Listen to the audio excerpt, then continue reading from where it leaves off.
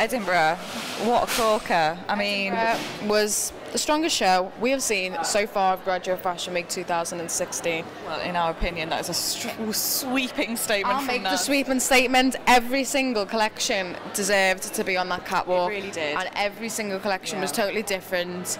It was wicked. There was so much technical aspects. The textiles were so refined. The make of it, the, the manufacture was like on point. So, what was your favourite?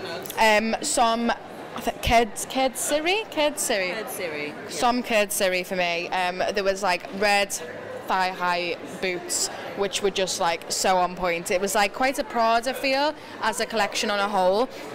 It was so lovely. There was paisley prints on the leather.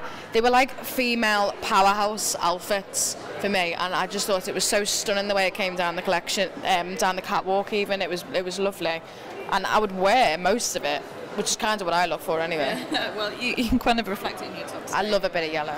Um, my favourite was Jonathan Preston Moore.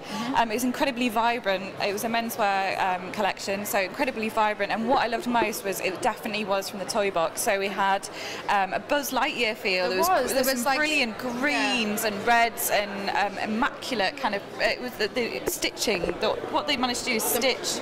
Yeah, it was like embroidery almost, embroidery and print, but Ravensbourne, you've got, you've got a tough match, but we're, looking forward to it all the same. yeah, we're going to be there and we're looking forward to this one.